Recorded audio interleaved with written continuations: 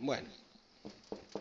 Dice, determina los valores de lambda para que la matriz A menos 2i tiene inversa, siendo i la matriz de identidad de orden 3. Entonces hay que hacer A menos 2i. A menos 2i sería que te dice que calcule los valores de lambda para que la matriz A menos 2i tenga inversa. Esto sería A y 2i en la matriz de identidad multiplicada por 2. Sería esto. ¿Vale? Entonces la matriz que tengo que ver si tiene inversa es esta. 1, 0 lambda. Estoy restando. 3 menos 2, 0 menos 0, lambda menos 0, menos 5.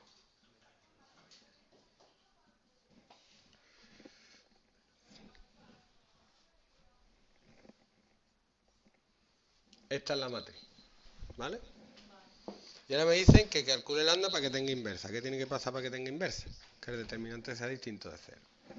Los determinantes, no le voy a poner ni las rayas horizontales. Y me ayuda mucho que tenga estos dos ceros. Entonces me van a ir un montón de cosas. Determinante sería lambda menos 2. Esta. Esta es 0. Esta es 0. Esta. ¡Uh! ¡Qué locura! Menos lambda cuadrado por lambda menos 2. 0 y 0. ¿Vale? A ver si te das cuenta. ¿Te das cuenta de algo de ahí o no? ¿Lo desarrollo todo? ¿Desarrollo o no desarrollo? Yo es que me he dado cuenta de una cosa. Que hoy porque me he dado cuenta. ¿Estás de acuerdo con eso o no? Entonces yo podría poner que esto es lambda menos 2 por 1 menos lambda cuadrado. Lo hago de la otra manera. De la otra manera haría lambda menos 2 menos lambda cubo más 2 lambda cuadrado. Y lo que hecho saca factor común lambda menos 2. Como lambda menos 2 está aquí y aquí, ¿qué otro? Claro, le saca factor común lambda menos 2, de aquí sale un 1 y de aquí sale menos lambda cuadrado. Es que si lo opero me queda esto.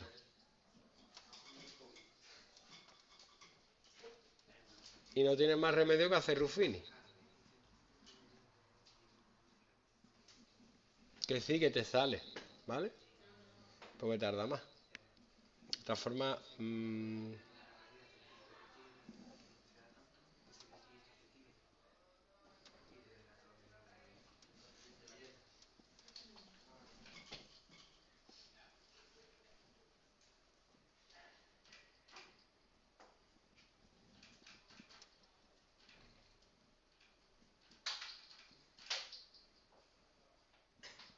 da menos 1, 2 y 1.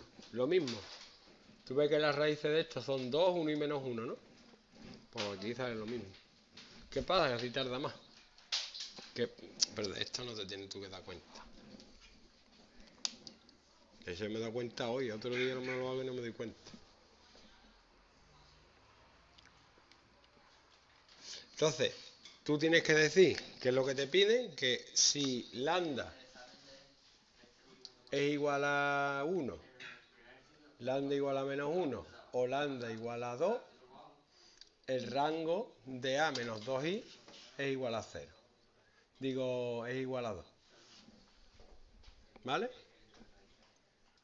¿Por qué? Porque el determinante da 0. Vale, esos son los números que me dan cero. Que hacen que el determinante sea 0. Entonces, si da eso, el rango es 2, porque el determinante es 0, el rango no es 3. Y si lambda es distinto, y distinto de 2, el rango de A menos 2i es 3.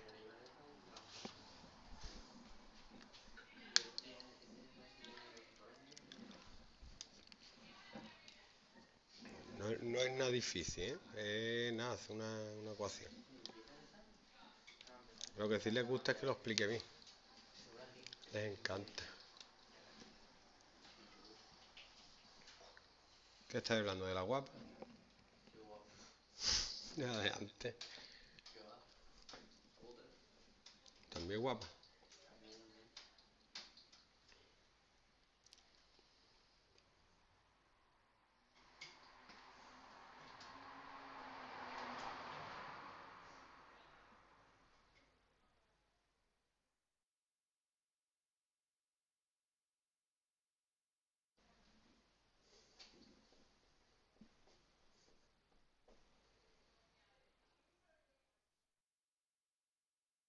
Bueno, ya en punto 25.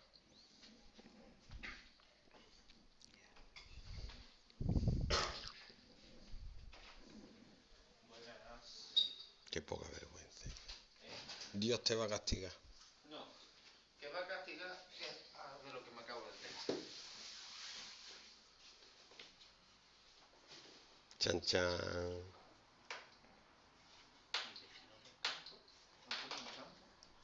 Una vuelta con eso. Con comida.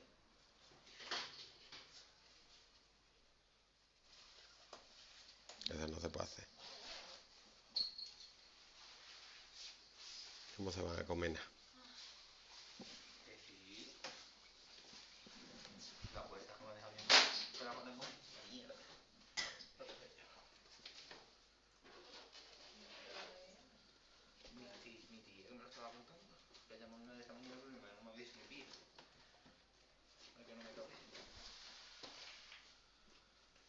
Mejor. El 10. Hemos hecho, dice, ¿cuáles son los valores de lambda que hacen que la matriz A menos 2i, que lo hemos hecho aquí, esto es A, menos 2i, sea 0? O sea, el rango, ¿cómo, cómo es la pregunta?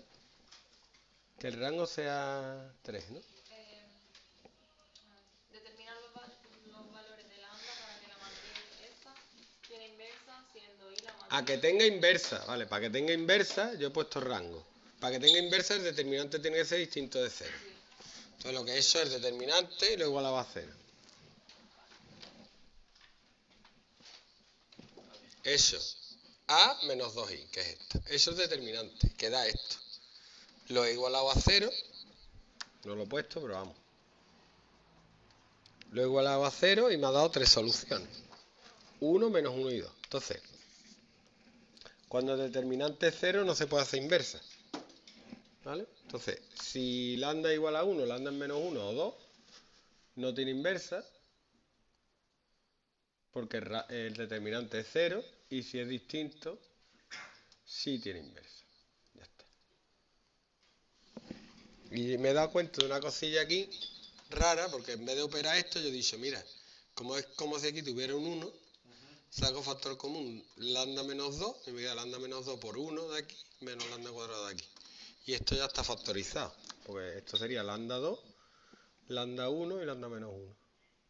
Pero ya le he dicho yo a Cristina que eso no, que eso no te da cuenta tú todos los días, que eso tiene que estar, si no ya está, tú, tú lo haces, tú lo haces y lo que te dé, ya está.